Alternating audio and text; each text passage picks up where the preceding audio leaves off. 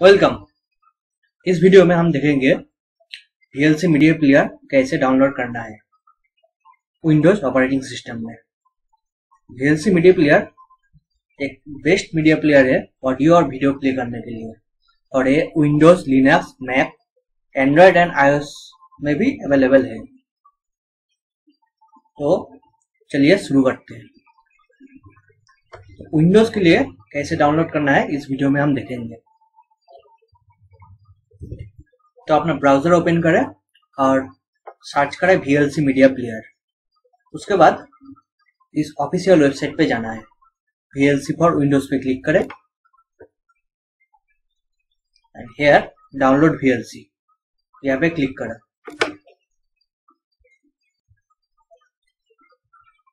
और यह download start हो गया। डाउनलोड कंप्लीट हो गया।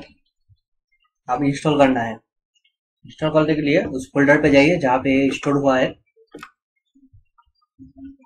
तो यहाँ पे आप वीएलसी पे डबल क्लिक करें।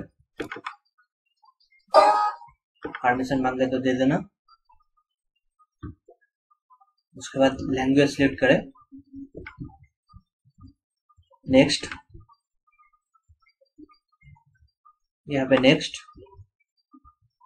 नेक्स्ट एंड यहाँ पे अपना फोल्डर सिलेक्ट करें जहाँ पे वीएलसी डाउनलोड करना है।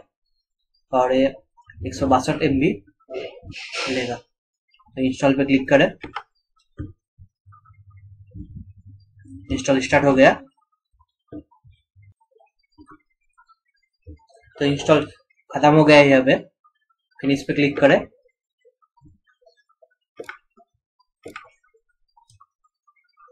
आप कंटिन्यू क्लिक करें। इस तरह से VLC डाउनलोड करना है। वीडियो अच्छा लगा तो लाइक कर देना और चैनल को सब्सक्राइब कर देना। Okay thank you